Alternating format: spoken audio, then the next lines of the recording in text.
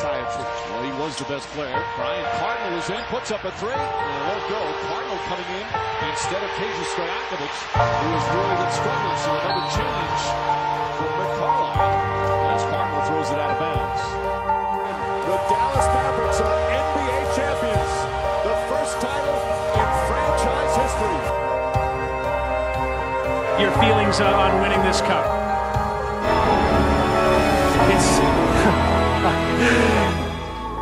It's.